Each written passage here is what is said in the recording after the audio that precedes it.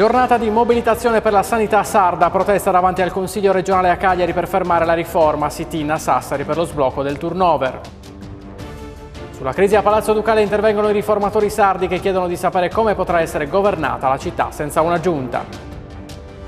La frequenza degli incidenti nell'incrocio di Predanieda tra la strada 14 e la 15 è allarmante, uno scontro ogni due giorni servirebbe un intervento risolutivo. TG di Canale 12, buonasera e bentrovati, edizione serale che apriamo con la sanità, l'avete sentito dagli strilli del nostro sommario, giornata difficile per la sanità sarda, mobilitazione da nord a sud, partiamo dalla protesta davanti al palazzo del Consiglio regionale a Cagliari dove si è data appuntamento l'intera sanità isolana sotto tutte le sigle sindacali per chiedere di fermare e rivedere la riforma regionale. Il timore più grande è quello di perdere ospedali e presidi territoriali. Ultima chiamata prima che la riorganizzazione della rete ospedaliera venga approvata dall'Aula in agenda prima della pausa estiva. Vediamo. Mobilitazione della sanità. Questa mattina tutte le sigle sindacali si sono ritrovate sotto il palazzo del Consiglio regionale a Cagliari da tutta l'isola per fermare e modificare la riforma della sanità in Sardegna, soprattutto dal nord con anche i consigli comunali di La Maddalena e Ozieri e poi sono partiti pullman da Alghero, Sassari e Ittiri, ma anche dal sud con Mulavera e Isili che chiedono risposte. Uno dei principali motivi della protesta è il rischio di perdere ospedali e presidi sul territorio. Nella lista delle rivendicazioni la paura degli esuberi, nel mirino anche le retribuzioni le più basse d'Italia. Vogliamo la cancellazione delle liste d'attesa, ora si aspetta mesi, dicono i rappresentanti sindacali. Uno sciopero contro i tagli e le riduzioni dei servizi sul territorio in una riforma sbagliata e pericolosa. Così i sindacati Funzione Pubblica di CGL, CISL FP e WILA FPL si sono dati appuntamento a Cagliari. Lo sciopero era stato annunciato poche ore dopo il via libera in Commissione Sanità del Consiglio regionale alle linee di indirizzo per redigere gli atti aziendali della ASL Unica, la cosiddetta ATS, delle due aziende ospedaliere universitarie di Cagliari e Sassari e dell'azienda Abruzzo, che hanno creato non pochi malumori. Mobilitazione unitaria della sanità sarda che ha visto la partecipazione di oltre 4.000 persone. La lista delle richieste è lunga, in cima lo stop ai lavori in Commissione Sanità. La riforma serve, ma non è questa, dicono i rappresentanti sindacali. Altre regioni sono partite da una cornice territoriale nazionale lo hanno fatto prima usando il bisturi su sprechi, il personale sanitario chiede risposte e cambiamenti a questa riforma e lo chiede con urgenza, dato che la riorganizzazione della rete ospedaliera dovrebbe essere approvata dall'Aula entro la pausa estiva. Sit-in di protesta, siamo ancora sulla sanità, anche a Sassari davanti alla sede della ATS, dove i lavoratori del comparto sanità sassarese hanno manifestato contro i tagli al personale, lo sblocco del turnover, l'incorporazione dei lavori ex IPAB San Giovanni Battista e la contestazione del ricorso al lavoro interinale. Vediamo.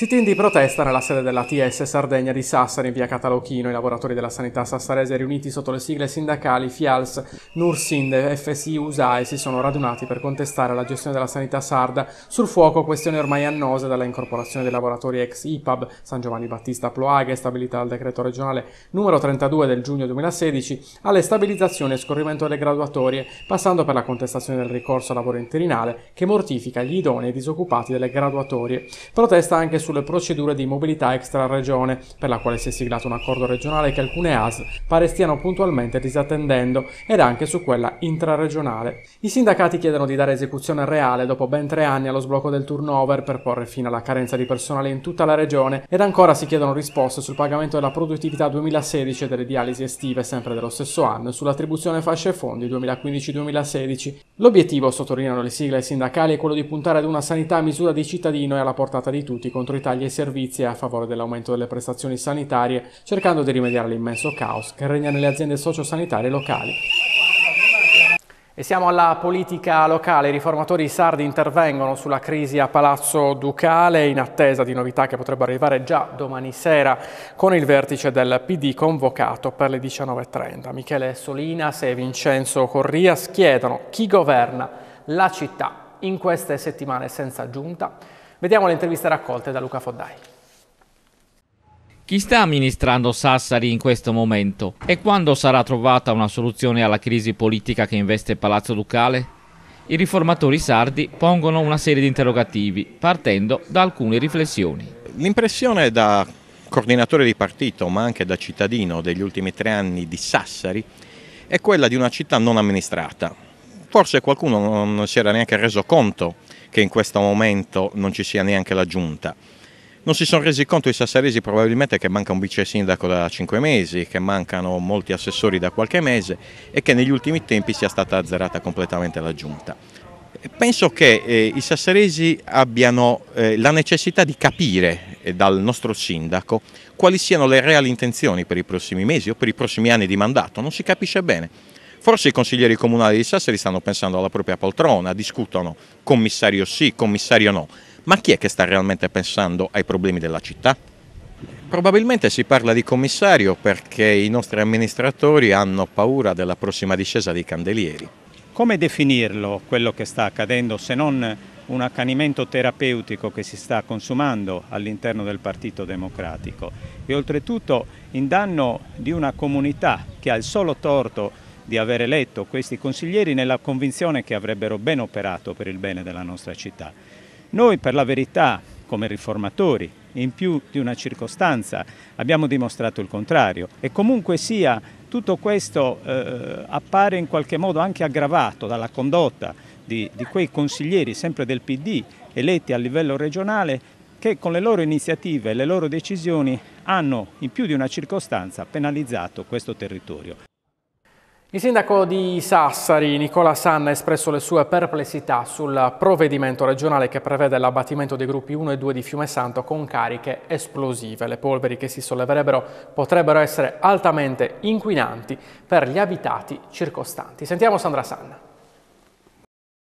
Il comune di Sassari non ha ricevuto alcuna comunicazione dalla regione per partecipare al procedimento sulla scelta di abbattere i gruppi 1 e 2 di Fiume Santo con cariche esplosive in ogni caso non accetteremo che simili decisioni siano prese senza che siano concordate con il territorio. Il sindaco Nicola Sanna commenta così la notizia che l'assessorato regionale all'ambiente ha dato il via libera al nuovo piano di decommissioning. Il primo cittadino ha quindi scritto al Ministero dell'Ambiente, al Presidente della Regione Francesco Pigliero e all'assessore all'ambiente Donatella Spano affinché si provveda immediatamente alla sospensione del provvedimento di cui non è dato conoscere l'esatto contenuto e che si avvii un procedimento per riesaminare la questione.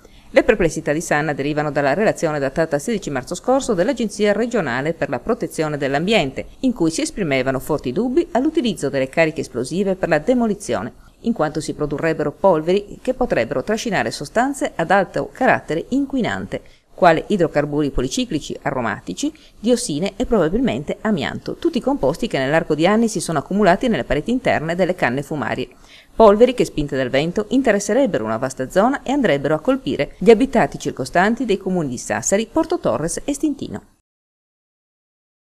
E siamo alla cronaca, ancora un incidente nel pericoloso incrocio di Predanieda tra la strada 15 e la 14, due feriti e il bilancio dello scontro di questa mattina, ingenti i danni ai mezzi, una frequenza allarmante che imporrebbe un intervento risolutivo prima che si verifichi il peggio. Vediamo. Una scena che purtroppo si ripete quasi ogni giorno e che provoca ingenti danni ai mezzi e il ferimento degli occupanti delle autovetture coinvolte. Questa mattina all'incrocio di Predaniedda tra la strada 14, 15 e 9 l'ennesimo incidente che ha visto coinvolte una Volkswagen Polo condotta da una ragazza di 30 anni e una Mercedes classe A con a bordo due ragazzi di 25 anni. Ad avere la peggio è stato il passeggero, il giovane è stato infatti trasportato al pronto soccorso con la sospetta frattura di alcune costole. La dinamica è sempre la stessa, la mancata precedenza della Polo che dalla strada 14 non ha rispettato lo stop e si è messa sulla strada 15 andando a scontrarsi con la Mercedes. Sul posto, per i rilievi del caso, una pattuglia della polizia locale, i vigili del fuoco per scongiurare eventuali incendi e un'ambulanza del 118 che ha trasportato al pronto soccorso sia la conducente della Polo in stato di shock che il passeggero della Mercedes che è subito apparso il più grave tra i soggetti coinvolti. Uno scontro che si è verificato in pieno giorno e che ormai si ripete con una frequenza allarmante. Le dichiarazioni degli automobilisti sono sempre le stesse, lo stop non è visibile e chi procede sulla strada 15 spesso non rispetta il limite urbano. La frequenza degli incidenti sullo stesso incrocio non può essere ricondotto solo all'imperizia degli automobilisti. Occorre intervenire al più presto per evitare il peggio. Un altro incidente si è verificato in mattinata all'incrocio tra Viale Dante e Viale Torres. In questo caso è stato un taxi a non rispettare lo stop, travolgendo un motociclista che è stato trasportato all'ospedale con un'ambulanza. Anche in questo caso sono intervenuti gli uomini della polizia locale e i vigili del fuoco. Ci spostiamo a Porto Torres che vive un degrado che sembra inarrestabile, ben evidente nell'antico quartiere di San Gavino con la splendida basilica che avrebbe bisogno di urgenti restauri. Nando Nocco, attivista culturale e bainzinu, ha voluto sensibilizzare la città sul problema con una iniziativa originale. Vediamo. Il degrado a Porto Torres si vede in ogni angolo di via, specialmente nel quartiere storico Bainzino, con la sua basilica unica al mondo per le particolarità architettoniche. La facciata e le sue componenti avrebbero bisogno urgenti di restauro, ma nessuno fa niente. Nando Nocco, portotorrese bainzino, nato e cresciuto nel quartiere dove ha una casa, non sopporta il degrado di strade e monumenti ai quali ha dedicato la propria vita artistica e sentimentale. Così ha pensato di sensibilizzare al problema amministrazioni, istituzioni e concittadini con una mostra di foto appese ai fili da stendere in un vicoletto accanto alla chiesa.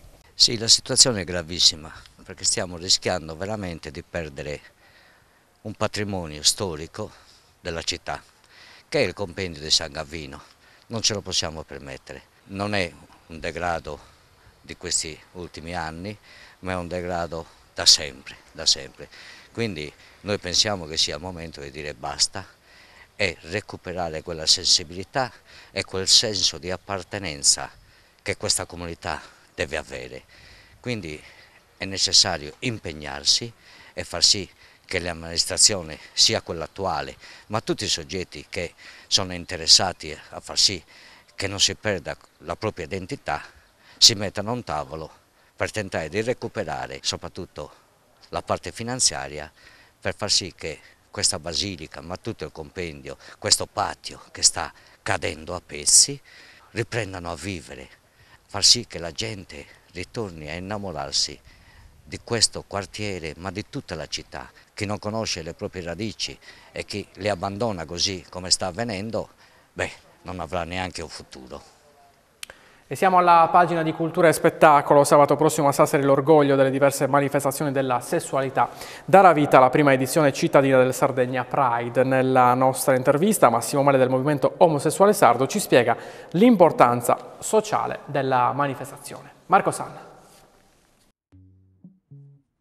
La diversità come valore. L'identità sessuale di ciascuno non è chiusa dentro le categorie culturali, ma emerge nell'intimo della persona e nelle relazioni, esprimendosi in tante forme anche se non sempre ne riconosciamo il sentimento. Il Sardegna Pride è la liberazione della propria personalità emotiva nell'incontro con tutte le diversità possibili, proprio per sentirsi uniti in quel milieu di sentimento comune che chiamiamo amore.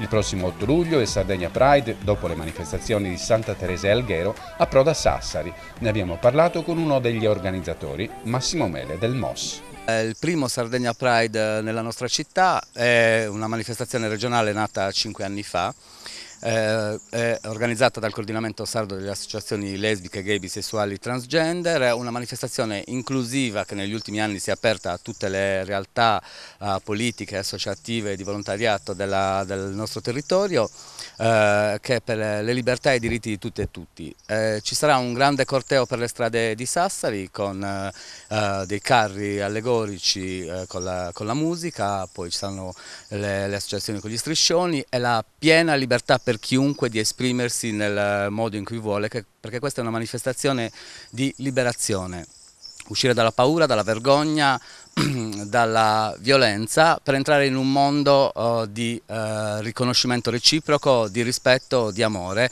Noi vogliamo che la gente scenda in piazza e si diverta e attraverso il divertimento e la conoscenza reciproca superi la paura e la diffidenza. Quindi speriamo che sia una grande festa per la nostra città.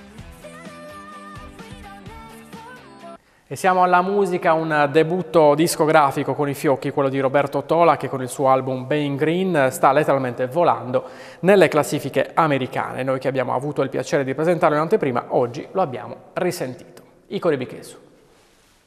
Un successo inaspettato per il primo disco di Roberto Tola, Beijing Green eh, scala le classifiche degli Stati Uniti d'America.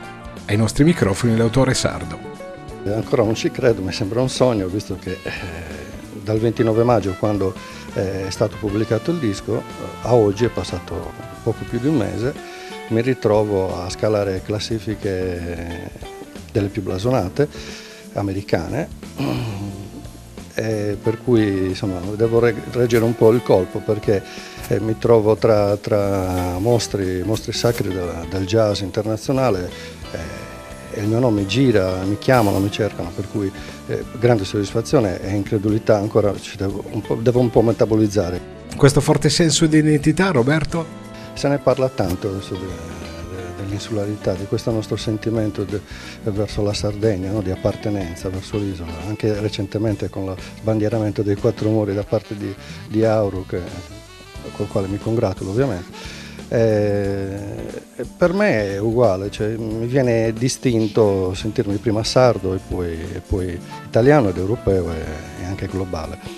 Eh, per cui diciamo anche in questa mia avventura musicale non ho potuto non considerare la mia isola che mi ha ispirato addirittura, eh, per cui si sente, è descritta anche nella, nel disco, c'è un brano addirittura che si chiama Sardinia Dream e sta uscendo fuori perché quando, quando, le varie radio americane mi presentano, annunciano un brano, eh, lo annunciano così, ecco, Roberto Tola, chitarrista dalla Sardegna.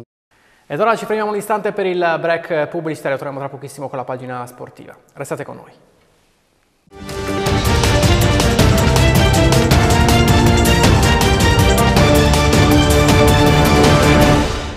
Torniamo in studio per la pagina sportiva, in primo piano il calcio femminile, continua con grande successo il Camp Clinic del Real Madrid in collaborazione con la Torres Calcio Femminile, siamo andati ad ascoltare le sensazioni di uno dei due allenatori spagnoli che seguono i giovani calciatori e calciatrici che inseguono le loro passioni e soprattutto i loro sogni di poter diventare un giorno Galacticos. Vediamo. Grande successo per il Clinic Camp del Real Madrid. Ai nostri microfoni uno degli allenatori iberici impegnati con i giovani atleti sassaresi, Patrick Zars. Bene, molto bene, eh, fa molto caldo. Eh, io sono di Barcellona, así que el caldo es como Barcelona, pero bueno, la, la città es piccola, es bonita. Eh, los padres, mamás, papas, eh, la familia, eh, muy amable, los niños muy bien, el nivel top, así que muy contento. Es una oportunidad para todos los bambini de Europa de entrenar como entrenan en Real Madrid, en la fábrica, como se dice, la Academia Real Madrid. Y bueno, es una oportunidad, estamos en Alemania, Italia, Francia, Austria, Inglaterra, Holanda, Bélgica. Eh, Estamos en toda Europa y para los niños es genial poder entrenar como los profesionales y nosotros muy contentos de que puedan aprovechar. Esto es difícil, esto de un año para otro cambia, pero sí, aquí el nivel es, es muy bueno. Aquí yo he estado en Alemania, he estado en Francia y en Austria y aquí el nivel es, es muy alto, eh, te tengo que decir, y ¿por qué no? Hay que, hay que luchar por los sueños. Ed era questo l'ultimo servizio per questa edizione, non ci sono aggiornamenti dell'ultima ora, io mi fermo qui, vi ricordo che potrete rivedere questa edizione del nostro telegiornale sul sito canale12.it e l'intera nostra programmazione dai vostri smartphone o tablet attraverso wifi tv.tv. Inoltre se siete in possesso di un decoder Sky ci trovate al canale 5012. L'informazione torna domani mattina alle ore 7 come di consueto, non dimenticate la striscia informativa delle ore 14, la spaziale notizie nazionali curate dall'agenzia di stampa ADN Cronos. Il telegiornale come sempre torna domani alle 19.45, vi ringrazio l'attenzione e vi auguro un buon proseguimento di serata. Arrivederci.